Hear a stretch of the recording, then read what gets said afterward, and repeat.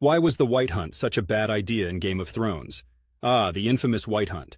A classic example of when a seemingly good idea goes down the tubes faster than ice melting beyond the wall. So let's dissect where the logic train derailed in that frostbitten fiasco. Misguided motives. The plan was to capture a wight and present it to Cersei, thereby proving the existential threat looming over Westeros. Great on paper, right? As much as we like to believe in the unifying power of common enemies, we were dealing with Cersei Lannister here. Nothing short of her own undead transformation would have likely swayed her. Jon Snow and company betting on Cersei's sense of reason was the first roll of the loaded dice. Ill-conceived plan. The gang recruited for this mission were valiant, sure, but what was the actual plan? There didn't seem to be a solid exit strategy, especially since they were marching into terrain that the Army of the Dead had on lockdown.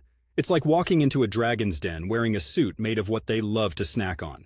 A big, shiny, suicidal suit the domino effect. The consequences of the Wight Hunt were dire.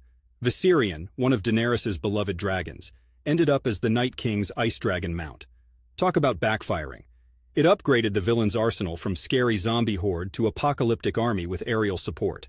Realistically, we handed the Night King his very own Frosty the Snow Dragon, complete with blue flame action and wall-melting abilities.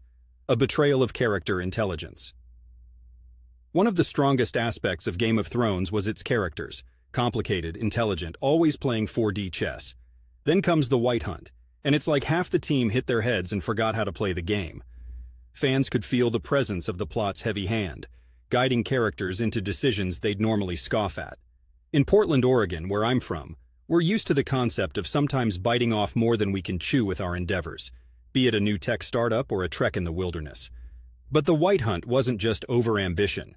It was a series of unfortunate decisions that didn't seem true to the ethos of the story or its characters. It was the narrative equivalent of a blizzard, exciting to watch from a distance, but on closer inspection, cold and full of chaos.